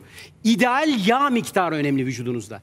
Kaç kilo? Mesela bir kadında 20 kiloyu geçmemesi lazım. Biz de o rakamın altına indireceğiz. Bu kızımın mıymış? Hocam baksana. Böyle şey yapıyor. Sarıyor. Ya peki Bayağı masraf normal oldu. diyetlerin dışında siz ne yapıyorsunuz ki kaslar kalıyor ve sadece yağ gidiyor? Şimdi bir kere hızlı gitmiyoruz. Yani ortalama mesela 13 ayda 45 kilo vermiş. Ne demek bu? Ayda 3 kilo civarında kilo gitmiş. Çünkü 100 kilonun üstünde. Şimdi e, e, Ayşe'ye dikkat edin. 20 ayda 45 kilo vermiş. Yani ayda 2-2,5 kilo vermiş. Niye? Evet. O 100 kilo. 100 kiloya kadar olan birinde 2 kiloyu geçmiyoruz. E, e, yine baktığımızda Meryem 18 ayda 65 kilo vermiş. Bu ne yapar? Ayda 3 3,5 kilo 170 civarında. kilo ama Tabii için. 170 olduğu için 3,5 ama 100 kilolara düşünce 2. 110 kilolar civarında 2,5. Yani ortalama ayda 100 kilonun altındaysanız sakın 2 kiloyu geçmeyin. Geçmeyin. Sonra Bunu özellikle göz söylüyorum. çöküyor yani. Bu sorduğun sorunun da cevabı. Evet. Bu düzeyde gittiğimiz için de kas kaybı olmuyor. Bu bir. İki, siz günde 6 öğün yedirince eskiden aldığınız proteinleri vücut yağa çevirirken siz artık düzgün beslendiğiniz için o proteinler kasa dönüyor bir. İki, benim hastalarım zannediyorsunuz ki deli gibi spor yapıyorlar. Ne yapıyorsunuz Ayşe? Biz ne veriyoruz size? Ya deli gibi spor kesinlikle bizde yok. Bizde sadece yani 4 gün veya 3 gün hani yarım saat 40 dakika yürüyüş. Hani tempolu bir yürüyüş. Hani ağır bir spor yok. Ee, işte koşu bandında koşu yapalım. Yürü, e, atlayalım, zıplayalım öyle bir şey yok. Sadece Yani yürüyüş. aslında iyi olurdu ama. Hayır biz istemiyoruz. Bak orada da bir mantık Ha, var. sen istemiyorsun. Ben istemiyorum. Çünkü kadın geliyor kucağında bebe. Dışarıda zebellah gibi adam bekliyor. Gene getirdik bu hanımı. Bakalım bu ne olacak bu kaçıncı falan diye. Şimdi bu, bu şartlar altında o kadıncağız tenis oynayabilir mi ya? Yüzmeye gidebilir mi yani? Ya da gitsen olur bir ay iki ay gider. Bu ülke gerçeğinden kopmadan diyoruz ki ya çocuklar siz bize haftanın dört günü 40'ar dakika ya da üç günü 50 şey beş günü 30'ar dakika yani toplam bir haftada 150 dakika yürüyün ama hayat boyu yapın. Şimdi hepsi alıştılar. Evet, Peki o Yapmasalar kötü Zor da gelmeyecek Evet. yani. O yürüyüş böyle şey yürüyüş değil ama? Hayır söyleyeyim tempoyu da söyleyeyim. Bakın buradan hangi kamera bakacak ben uzun yürüyeceğim çünkü şurayı Karşıdan. kullanacağım sevgili yönetmenim. Yürüyüş tempomuz şu. Şu yürüyüş dakikada 100 adım yürüyüşüdür. Biraz daha hızlanırım erkeğimdir. Şöyle yürüsem ki fazla bu 120 adımdır. Dakikada 100 adım. Yani tekrar gösteriyorum şu tempo. Allah aşkına içinizde yürüyemeyecek kimse var mı şu temponun içerisinde? Mümkün değil. Bunun sayesinde hayat boyu kilolarını koruyacak bir düzen oturtuyorlar ve yürüyemezlerse eğer sıkıntı yaşıyorlar. Bunu anlatıyorum özellikle. Ben askerde acemilikte işte günde böyle 10 kilometre yürüyorduk. 28 günde 280 kilometre yürüdüm. Geri geldiğimde Aynen geri geldi. 28 günde e, verdiğim kilo 12-13 kiloydu. Yazık. Sonra geri geldi kas da kaybetmişindir. Şimdi kızımla ilgili bir şey söyleyeyim. Onun da e, Tiyosu bir şeysi var. tabii bir tiyosu var. Bizi izleyenler diyor ki hocam tamam. 110 kilo üzeri. e, biz gelemezsek ne yaparız? Şimdi onda en sevdiğim şey tarçındı. Tarçın bir, bir tarçındı. Tarçın yağ yakıcı madde özelliği olan maddelerden bir tanesidir. Dolayısıyla kullandığınız herhangi bir tatlının üstüne hatta tuzluğun üstüne ben mesela yoğurtla tarçın yerim. Yani zevk meselesi bu. Hmm, Tavuk biraz. üstündeki tarçın gibi. Gibi aynen öyle. Koyup yiyebilirim. Dolayısıyla mesela yarım çorba kaşığı tarçını suya ekleyerek yaklaşık 5 dakika demleyin. Yarım çorba kaşığı. Demledikten sonra da e, suyunu süzdükten sonra da e, bir yemek kaşığı ya da yarım yemek kaşığı bal ekleyin. Şeker hastalığınız yoksa bunu tüketebilirsiniz. Bu hakikaten metabolizması açısından bize fayda sağladı. Bu bir. Şeker hastalığı varsa e, balık koymuyor mu yoksa Sadece başka tarçın. bir şey mi? Sadece, tarçınla gidiyor. Bir de bulabilirseniz her zaman bulamıyoruz. Biz de sıkıntı yaşıyoruz. Ee, özellikle Güney Hindistan'ın bir besini var. Köri yaprakları. Bu köri yaprakları aynen Ayşe'deki gibi sindirim enzimlerini uyaran bir madde. Zencefil gibi. Dolayısıyla sindirimi sağlıyor. Köri yaprakları bulabilirseniz ama dediğim gibi zaman zaman bulmakta zorluk çekebilirler onu söyleyelim. İkincisi o da öyle. Metabolik hızı arttırıyor. Köri yaprağını bulamazsam ne yapıyorum? Zencefile geçiyorum. O da yaklaşık aynı etkiye sahip. Yani metabolizma hızınızı arttırmak ve e, e, sindirim enzimlerini uyarıp daha kolay sindirmenizi sağlamak. Demek ki bu kısımda onu kullandım ve şeyi unuttum. Meryem'de. Ya şeyi merak etmiyor musunuz? 65 kilo verdi diyoruz. Nereye gitti bu? Tuvalete. Nereye gitti? E, gördünüz mü tuvalette bir şey? Yok. Ter olarak çıkıyor. Şimdi çok az bir kısmı ter olarak çıkıyor. Çok az bir kısmı belki dışkıyla kaybediliyor ama büyükçe bir kısmı sizin vücudunuzda eriyen yağlar, parçalanan yağlar lenf dediğimiz çöpçü damar sistemi vasıtasıyla hadi böbreğe gidiyor. Şimdi o lenfi iyi çalıştırmanın üç yolu var. Bir, Az önce söyledik. Yürüyeceğiz. Çünkü oluşan yağları eğer vücuttan atamazsak size şöyle anlatayım. Evi temizlediniz, sildiniz, süpürdünüz. Kenara koydum. Çöpü evet kenara koydunuz. Ne oldu? Her taraf temiz de ya bu pis kokuyor ya bu ev dersiniz. Şimdi benim o çöpü oradan almam lazım, atmam lazım. Atmam için de lenf damarı dediğim üçüncü bir damar sistemi var. Onun iyi çalışması lazım. Onun iyi çalışması için yöntem. Geldik mi şimdi oraya? Niye su içiriyoruz? İşte bunun için içiriyoruz. Ya. Niye yürütüyoruz? İşte bunun için yürütüyoruz. Yani su içmez ve yürümezseniz kilo verirsiniz. Veriyor hepsi. Biliyorlar yürümedikleri haftalarda da kilo verdiler. Ama kalıyor bir Ama yerde. oluşan çöpü Niye yaşa. suyu içiyoruz? İşte ancak bu kadar güzel anlatılabilir. Bir alkış lütfen. Sağ ol. Gerçekten vallahi harika. Bu Sağ kadar açık detaylı. Algılamamız olayı zaten çok önemli. Aynen. Suyu bunun için içtiniz. Kilo vermek için değil. Su içerek kilo verilmez. Buna yarar. Ha bir şey daha var orada. Bir madde de bu yağların bu anlamda atılması konusunda metabolizmanıza yardım ediyor. E, lenf damarlarınıza. Havucu kullanırsanız eğer, havuç suyu olarak da kullanabilirsiniz, havuç olarak da kullanabilirsiniz. Bu konuda yardımcı olur. Ama burada hemen bir şey daha söyleyeyim. Şimdi Ramazan da gelecek, vitamin şu bu falan filan. Vitamin piyasası falan tam bir komedidir. Yani yaradan biz öyle bir yaratmış ki biz her şeyi besinlerle alıyoruz. Basit. Bir tane havuç yediğinizde 5 günlük A vitamini alıyorsunuz. Artık A vitaminine ne gerek var ya şu kadar bir havuçla. C vitamini dediğiniz şey birçok maddeden maydanozdan tutun şeye kadar e, e, e, yeşil bibere kadar etkilidir. C vitamini dediğiniz şeyi aldığınızda mesela 10 gün diyelim bir grip geçireceksiniz. C vitamini yeteri kadar alırsanız bu 9 güne düşüyor aslında. Yani bir günlük bir kar sağlıyor. Büyük mucizeler de beklemeyin. Onu anlatmaya çalışıyorum. Son bir şey. Yaz geldi. Yazın yememiz gereken 5 kesin besin var. Hele Ramazan ayında çok çok önemli bunlar. Yani bu kiloları verdirirken bütün bunlara dikkat ettik. Bu 5 besini sırayla söyleyeyim. Bir, turp. Turpu sadece turp olarak sevmeyebilirsiniz. Herhangi bir besinin içerisine e, e, karıştırarak yiyebilirsiniz. Bir turp. İki, su teresi. Bunları lütfen ya aklınıza not alın ya defterinize varsa. Ama bu yaz aylarında vücut direncinizin artması, vücudun toksinleri rahatça boşaltabilmeniz için şu saydığım beşlinin mutlaka olması lazım. Turp, su teresi, domates, zaten büyük bir çoğunlukla yiyorsunuzdur onu. Ee, e, kiraz ve çilek grubu ee, ve son olarak da limon ve sarımsak ikilisi. Limon ve sarımsak ikilisi. Hemen sarımsakla ilgili bir şey söyle. Çok mu konuşuyorum? Ne olur? Yok Şeyse hocam, durdurun yok, beni yok. yani Çok çocuklar. Önemli kadar bir güzel soru soracağım sonra. Sonra merak ediyorum. E, diyet bu, bu beslenme düzenini uygulayan kişiler veya sizin e, bu söylediklerinize uyan kişiler oruç tutarken nelere dikkat edecekler? Söyle, Onu da güzel. bir konuşalım. Onu da şunu söyleyeyim hemen. Sarımsak çok kullandığınız bir şey değil mi? Sarımsakla ilgili bir yanlış yapıyoruz. Sarımsağı kesiyoruz koyuyoruz şeyin içerisine. Hayır. Sarımsağın içerisinde alisin denen bizim çok işimize yarayan maddenin işe yaraması için bir tek yöntem var. Kestiniz sarımsağı. Hatta mümkünse elinizle dövün, kesmeyin. Elinizle dövün. Dövülmüş haliyle bir 10 dakika bırakın onu kendi başına. Sonra gelin onu hangi yemeğe koyacaksanız koyun. O zaman onun içindeki madde etkin hale geçerek gerçekten sarımsak etkisini gösteriyor Bir diğer her şeyin. Tabii ezilmiş halde bırakın onu başka işler yapın. 10 dakika sonra gelin sonra karıştırın. Dolayısıyla sarımsağın da böyle bir özelliği var. Onu da anlatmış olalım. Şimdi senin soruna gelince. e, biz ne diyoruz hep öğün sayısını arttıralım diyoruz. Öğün sayısını arttırdıkça kilo veriliyor gerçekten. Ben bir iç hastalıkları uzmanı olarak bazı hastaların oruç tutmasını engelliyorum. Bana bu hakkı tıp vermiş. Mesela burada var mı engel? Söyleyeceğim, gideceğim. Tansiyonu bugün 25, ertesi gün 5. Hop diyoruz. Sana sana oruç yok. Şekeri bugün 400, ertesi gün 40. Hop diyoruz. Sana yok. Adam daha 2 gün önce, 5 gün önce, 1 ay önce e, bypass geçirmiş. Ona yok. Kalp yetmezliği nedeniyle ve 10 gün önce hastaneden çıkmış 20 tane ilaç kullanıyor. Sana yok. Bu hakkım var benim. Ama bu tür hastalıklarda, şimdi oraya gelelim. Hasta şunu biliyor.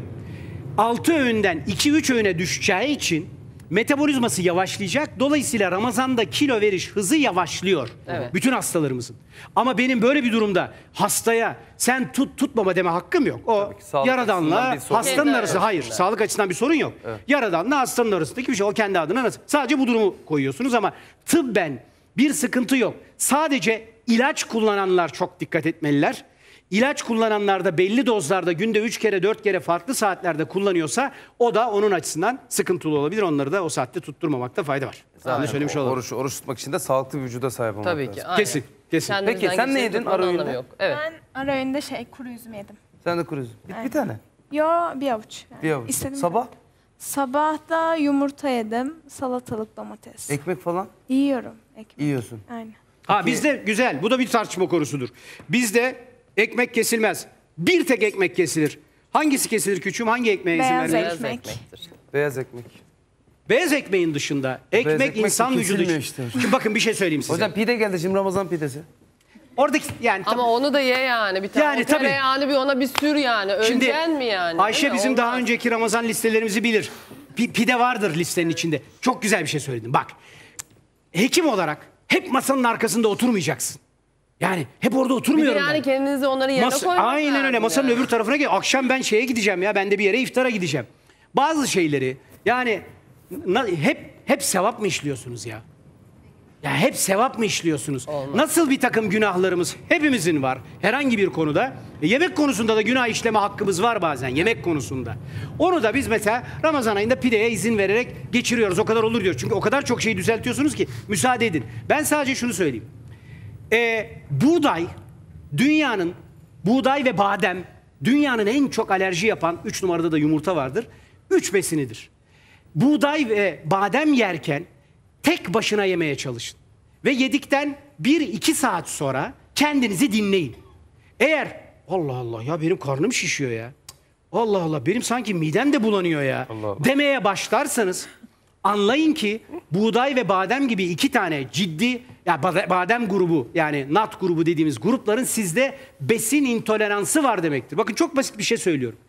Bunu yapıp da hiçbir problem yaşamıyorsanız kimseye ekmek yeme falan filan diyor. Yok böyle bir şey yani. Ekmek insan vücudu için çok gerekli bir besindir. Mutlaka yenmelidir ama beyaz ekmek yenmemelidir. Geri kalanında zaten bu sistemin içine öyle bir sistem oturtuyorsunuz ki e, günde iki dilimden üç dilimden fazla canları istemiyor. Biz onu da kendi adımıza sağlıyoruz ama ekmek folik asittir. Ekmek dengeli karbonhidrattır. İnsan vücudu için şarttır. Çok net ki kişisel fikrim de değildir. Bir hekimin yapacağı en büyük hata burada kişisel fikirlerini söylemektir. Bugün dünya tıbbı çok büyük bir çoğunlukla, ezici bir çoğunlukla ekmek benzeri besinleri net bir şekilde kullandırıyor, beyazı hariç. Her şeyin beyazına yasak var. Sen kola, çok- mesela kola içiyorlar. Hep anlattığım bir şey. Bir kutu kolanın içerisinde Asit, asitli içecekler işte. 13 tane kesme şeker var. Ya asıl orada dikkat edin yani. Evet yani. Günde maksimum iç, yiyeceğiniz şey. Şimdi ha Ramazan da geldi onu da söyleyeyim. Maksimum ne kadar? Bir insan günde bir çay kaşığı dolusundan fazla tuz alamaz. Bu tuz için. Şeker günde 5-6 kaşıktan fazla 5 kaşıktan toplam fazla şeker hakkı yok vücudun. Çay kaşığı. Çay kaşığı o da. Maksimum o da. Oysa biz ne kadar fazla yerden şeker alıyoruz onu da hatırlatalım. Ve Pardon. bilmeden alıyoruz. Ve bilmeden bir bile. üzerine 5 taneyi de alıyoruz oluyor sana 10-15. Ya mercimekte şeker var. Yani mercimekte bile şeker var. Oradan da alıyorsunuz. Bunu da unutmayın. Maksimum 5 çay kaşığı toz şeker kadar maksimum alabileceğiniz şekerdir. Onu da söylemiş olalım. Evet. Harika. Hastalarımız da hocam on- onları istiyorsanız gönderelim. Ol- Olur. Söylemek Şey- istediğiniz bir şey, var mı? daha söyleyeceğim onlar buradayken. Tamam. bir şey daha anlatayım. Şimdi e, tabii herkes diyecek ki hocam hastalarınız 50'şer kilo 60'ar kilo kilo vermiş. Şimdi bu kadar büyük kilo vermeden önce bir sıkıntı olabilir. Verdikten sonra bir sıkıntı olabilir. Bizde olmadı. Ne diyecektim ben ya? Ben söyleyeyim. Tarçın Ben ne kullandık. diyecektim? Nane kullandık. Zencefil kullandık değil mi? Ben başka bir şey söyleyecektim Ben ne yapayım? Arayı dolduruyorum Unutkanlığı anlatacaktım da. Ha pardon. ben de zaten nasıl unuttu diye hakikaten hayret Ha, Hoca nasıl unutur yani. böyle bir şey? değil yani ben şey. unutkanlığı anlatacaktım onun içinde bir unuttu numarası yaptım. Şimdi unutkanlık bu ülkedeki en önemli problemlerden bir tanesidir. Doğru mu? Kaç kişide var unutkanlık? Yani o maşallah. Ya bazıları unuttuğunu bile unutuyor da ondan elini kaldırmıyor yani. Ondan da eminim yani. Ben eminim buradakilerin yüzde doksanında yani. mutlaka var. Şimdi e, şey de geldi ya, Ramazan da geldi ya, çok da iyi beslenemeyeceksiniz. Belli saatlerde yiyemeyeceksiniz. Unutkanlık had safhaya varacak. Bir, iki, benim en büyük korkum ne biliyor musunuz? E, bütün gün boyunca besin alamayacağınız için e, konsantrasyonunuz da düşecek. Dışarıda trafikte ciddi bir sıkıntı oluşturacak bu da. Araba kullanırken kazalar falan artar yani istatistik olarak da. Bir de insan üzerine gerginlik de yaratıyor. Ya ben bunu nasıl unuttum diye sinirim bozuluyor. Yaşa bir de o var. O zaman size öyle bir besin verelim ki e, sahurda siyah çay içeceğinize sıvı anlamında bunu alın. Hem de gün boyunca hem unutkanlık anlamında hem de dinçlik anlamında size fayda sağlasın. Hadi biraz daha Ramazan'a çalışalım. Senden rica edeceğim. Bir bardak suyu aldık. Bu su nasıl su? Demleme yapacağımız için sıcak, su. Bu bir bardak suyun içerisine yarım ile 1 bölü 4 çay kaşığı olmak üzere maddeler ekleyeceğiz. Birinci maddemiz şunu şöyle parçaladığımızı düşünelim. Bundan yarım çay kaşığı aldığımızı düşünelim şunun içerisine. Ne bu biliyor musunuz? Ada çayı. Güzel. Karıştırıyoruz. Ne için? Ramazanda ya da herhangi bir dönemde ama özellikle Ramazanda daha önemli. Sahurda mı? Sahurda içebilirsiniz bunu. Hem sıvınızı alacak hem de sabah unutkanlığınızı ve vücut direnci düşüklüğünüzü engelleyecek. Koyduk ada çayımızı. Küçüğüm benim hadi sen de bana şeylik yap onu oraya koyarsan. Ada çayımızı koyduk. Sonra şimdi bu maddenin özelliği ne biliyor musunuz? Bu koyacağım madde hanımlar olarak bir yere ayağınızı vurdunuz. Ne olur? morarır. Diyelim ayağınızı vurdunuz ve morardı. 2-3 gün sonra da çok önemli bir düğün var. Ne yapacaksınız? Fondöten süreceğiz. Bu bir yöntem ama gelin onu iyileştirmeye çalışalım. Evet tabii ki. Bunun yağını kullanırsanız eğer o bölgeyi günde 2-3 sefer şu söyleyeceğim maddenin yağıyla ovalarsanız eğer yaz düğün geldi deli gibi koşturacaksınız birçoğunuzun başına gelecek. Oradaki morluğun daha çabuk azaldığını daha az fondöten sürmeniz gerekeceğini Çocuklara kullanabiliyor muyuz? Bizimkiler şey gibi. Yok. d- 12 dama- yaşın altında hayır. Ha, yok mu? 12 Ha. yaşın altında kullanmayın çocuklar için sıkıntı yaratabilir. İşte bu madde ne biliyor musunuz? Bu madde bundan da yarım kaşık koyalım sonra söyleyelim. Gösterelim önce. Cimi cipcime göstereyim. Evet cimi cipcim şu. Ben biliyorum. Nasıl? Bunu evet Orada bunu da yazıyor. koyduk yarım kaşık. Biberiye. İlk ne koyduk? Bakalım uyuyor mu millet? Ada çayı. Ada çayı güzel. Cin gibisiniz görüyorum güzel. Sizi burada böyle gördükçe ekranın arkasındaki seyirciyi de görüyorum. E, onlar tabii, da aynı, aynı. onlar da böyleler. Şimdi biberiyeyi de koyduk, ada çayını Onlar da öyle koyduk. değiller Gürkan abi. Böyledir onlar. Büyük bir ihtimalle öyle. Güzel asistanım da onu koydu. Ve son olarak da yine besinlerin içerisindeki en güzel besinlerden bir tanesinden ekliyoruz. Ondan da yarım ya da 1 bölü 4 çay kaşığı fesleğen ekliyoruz. Şimdi hepsini tekrar söyleyeceğim. Mis gibi oldu ya. Evet. Çay, bu tabi biraz suyumuz soğuk. Bunu demleyeceğiz değil mi? Aynı de, tabii zaten şey sıcak suyun içerisine koyduk diye düşünüyoruz bunu. Burada tabii o kadar istediğimiz kokuyu Koku vermeyebilir. olmuyor, evet. Burada bu, çünkü şey yok. e, Sıcak su yok. Bir daha söyleyelim. Hep birlikte söyleyelim. Birinci neydi? Ada çayı. Ada çayı süpersiniz. İkinci neydi? Biberiyeydi. Üçüncü neydi? Fesleğen. Peki dördüncü neydi? Hiçbir şeydi. Güzel seyirci. Çok Harika. uyanık. Yani. Bunu tatlandırmak falan istersek Eğer arzu ederseniz bunun içerisine çok küçük böyle bir çeyrek e, çay kaşığı kadar da bal ekleyebilirsiniz. Neden yaptık bunu? Sahurda kullanacaksınız. Ertesi günkü unutkanlığınızı azaltacak. Yine ertesi günkü vücut direncinizi biraz daha yükseltecek ve sıvı alacaksınız. Ama sahurla ilgili bir şey daha söyleyeyim yani. Söyleyelim, söyleyelim, ya. söyleyelim hocam. Çok söyleyelim. az kaldı yani. Haftaya haftaya Çok önemli şeyleri hocam. öğrendik yani. Söyleyeyim. Şimdi sahurda deli gibi yiyoruz ya. E tabii işte yani Bazımız. değil mi? Yaradan çok büyük. Öyle bir şey kurmuş ki, e, metabolizma kurmuş ki. Siz deli gibi yiyorsunuz ama bir insanın yediklerinin bağırsakları tarafından emilmesi vesaire tokluk şu işlemi ne kadar sürüyor biliyor musunuz? 4 ile 6 saat. Sahura kaçta kalktınız diyelim 3'te yaptınız. Bu sene daha 6 geç daha. olacak. Tabii. Hayır şey, şey için söylüyorum. yani Daha kalktınız. erken olacak özür dilerim. Daha Yani erken. 3'te diyelim yaptınız ya da 2'de yaptınız. 6 daha ekleyin. 8 9. Evet. Zaten 8'den 9'dan itibaren metabolizma acıkmaya başlayacak. Ne yersen ye yani. Ha? 5 kilo da doldursan. 10 kilo da doldursan. Peki yaradan o zaman niye sahur gibi bir öğün koymuş? Bir tek nedenle. Metabolizma az yedikçe kilo alıyor ya aslında orada o var. Bir öğün daha ekletiyor size. Başka hiçbir anlamı yok. Başka bir e, e, sizin için ertesi gün sahurda çok yedim, tokum 9'a kadar. Hadi siz müthiş birisiniz. Psikolojinizi de düzelttiniz. Bilemedin 12'ye kadar. Öğleden sonra Başlıyor. Açsınız zaten. Açız. Orada bir tek avantajı oluyor. Ben bütün hastalarıma şimdi hepsine sahur şey listeleri gitti Ramazan listeleri. Ramazan listelerinde dört öğün yarattık. İftar yaptık. Arada iki tane küçük ara öğün yaptık. Mutlaka sahur dedik. Ne kadar çok öğün yaparsanız ertesi gün metabolizmanız o kadar iyi çalışıyor. Ama sahurda tokluğu sağlamanın yolu ne? Tokluğu sağlamanın yolu protein. Dolayısıyla alerjiniz yoksa yumurtayı, e, lor peynirini, bakın hep lor peyniri diyorum. Yağsız yoğurdu mutlaka ve mutlaka kullanın. Ancak sahurda şu hatayı yapmayın. Sahurda hazırladığınız besinleri son bir kez mutlaka gene bir sudan geçirin. Neden? Benim derdim sodyum. Sodyum eşittir tuz. Tuz eşittir vücutta su toplaması ve susuzluk arkasından kayıp. Arkasından susuzluk demek. Dolayısıyla sahurda hazırlayacağınız bütün besinleri mutlaka geçirin. Sahurda sıvı içeren besinleri daha çok alın. Nedir sıvı içeren besinler? Şimdi bir tanesini daha söyleyeyim. Söyle. Hem metabolizmalarına yarasın hem de su olsun. Biraz Ben- önce verdiğiniz tarifi de unutmayalım. Nane, yeşil biber, e, domates. Tekrar ve söyleyebiliriz Onu onu. da e, güzel Evet. bir şey e, besin. için. Evet tokluk için. En güzel su içeren besinlerden bir tanesidir.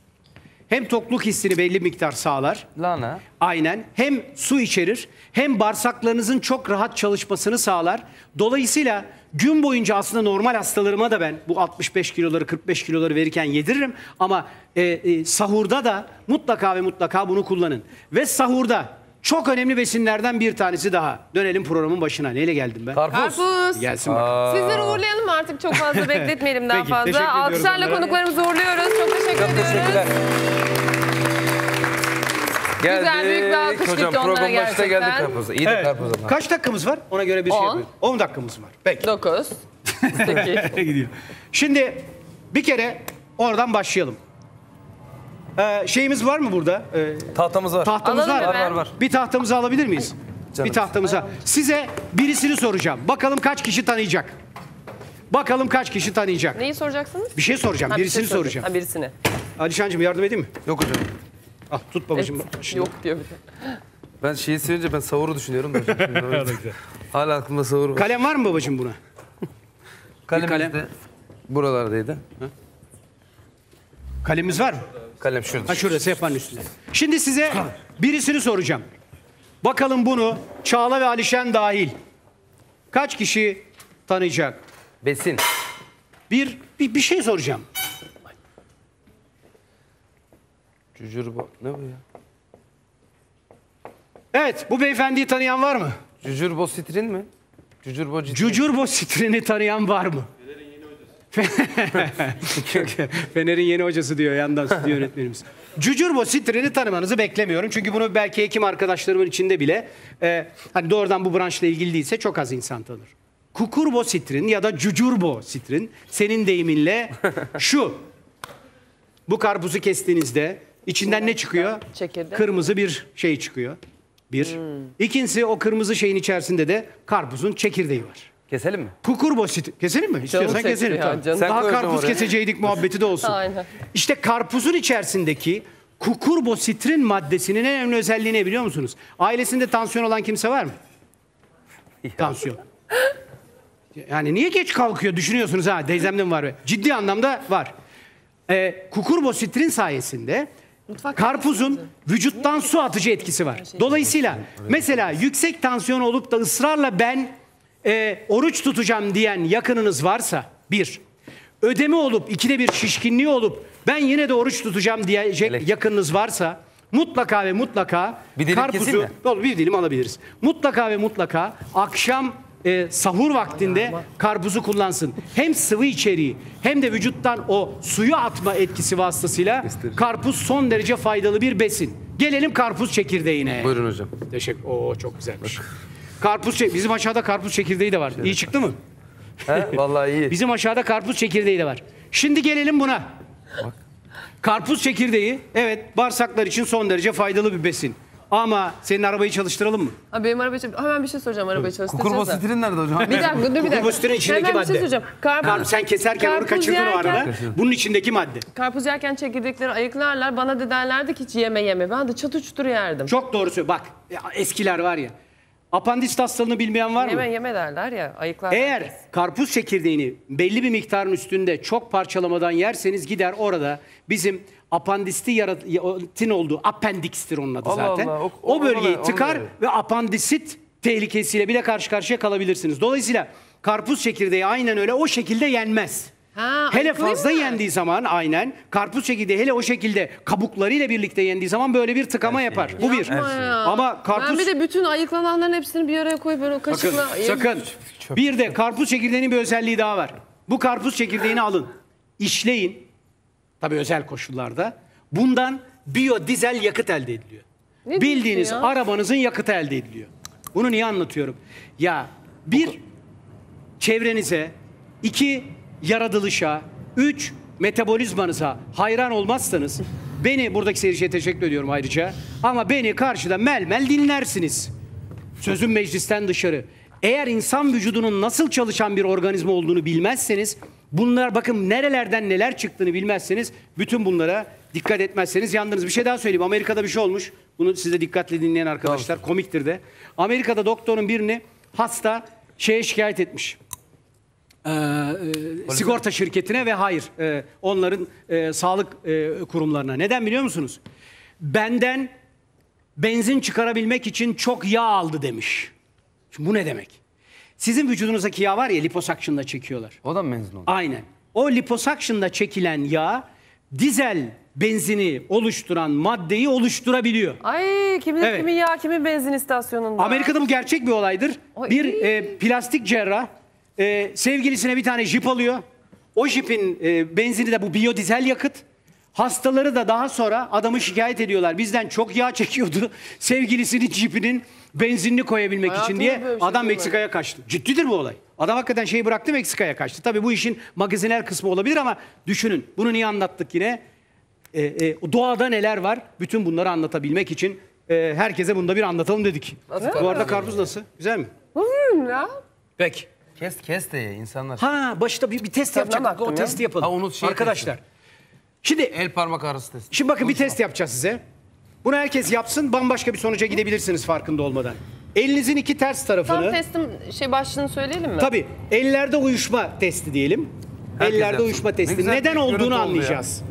Hareket bu. Seyircilerim çiçek gibi oldu bak. Birbirinize Ay, hakikaten ha, çok tatlı gözüküyorsunuz buradan. Valla ben konserlerde yapacağım. Ayağa kalkabilir misiniz lütfen? Öyle yapalım hep beraber. Ellerde uyuşma testi yapıyoruz bütün stüdyoya. Uyuşma testi. Evet. Bu kadar çok oturunca çünkü başka yerlerde uyuşacak. O yüzden Aynen. arada bir kalkmakta fayda var. Evet. Şunu 30 saniye boyunca bastırıyoruz ama bastırıyorsunuz. Bastırıyorsunuz. 30 saniye boyunca. Ben de Başlayalım sayıyorum mı? geriye doğru. Tabii başladık 30 saniyeyi sen tutuyor. Bastırın ama yani ciddi anlamda iki eli birbirinize ittirerek bastırın. Ellerde uyuşmanın neden olduğuna dair bir test. Ben eminim ki bizi izleyen birçok seyircimizde bu pro- problem vardır. Siz de bu testin sonucunda bambaşka bir durumla karşı karşıya kalabilirsiniz. Kemiklerim acıyor. 30 saniye güzel. Şimdi bittiğinde başka bir şeye bakacağız. 30 saniye bittiğinin şeyini sizden. Son kaç? Son 5 saniye peki. 5, 4, 3, 2, 1. Bırak. Bırakın şimdi. Şimdi normalde normal bir insanın mesela benim ağrım falan yok. Ben de ağrıyor. Hı. Benim ağrım yok. Uyuşukluk hiç yok. Kendi adınıza bakın. Eğer şiddetli ağrı oluyorsa, eğer şiddetli uyuşma oluyorsa e, bildiğiniz bir tünel ismi söyleyin bana. Mesela Manş Tüneli. Başka? Bir sürü tünel görüyorsunuz. Yani İzmit'e giderken tüneller var mesela. Bolu tüneli var. Var. Peki Bolu Tüneli var ha yaşa. Peki şu tüneli biliyor musunuz? Ben bilirim hemen bakayım. Tünelci başı. Bakayım.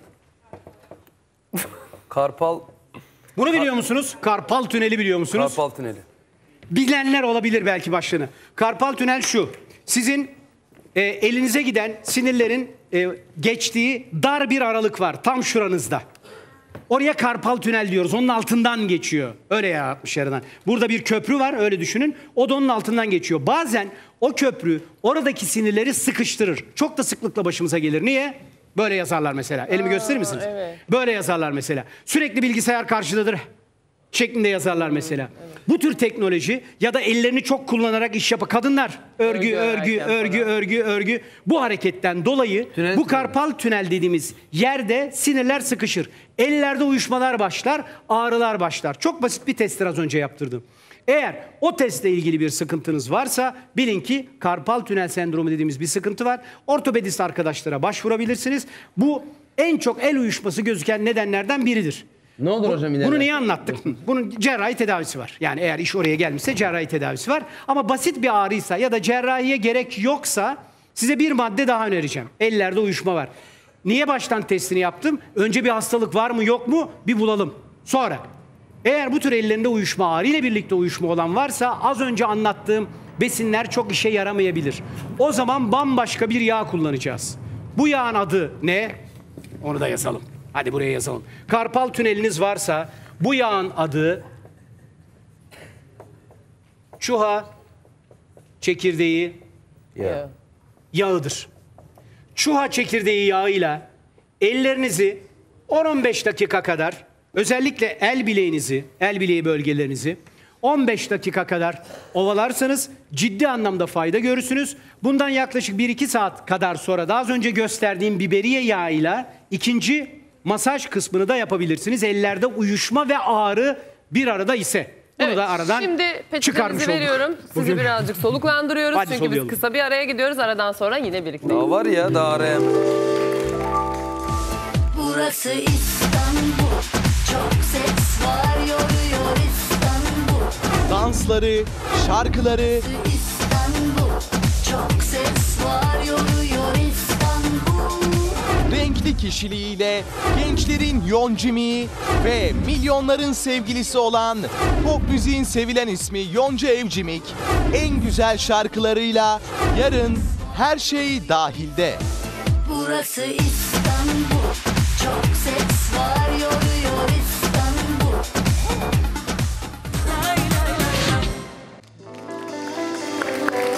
Hocam sezonun son programını yaptık sizinle. Bir kere çok teşekkür ediyoruz. Sezon boyu bizi yalnız bırakmadığınız Çok için. keyifli. Çok Güzel ve faydalı bilgiler verdiğiniz için. Önce bir kocaman alkış hocama. Gülkan son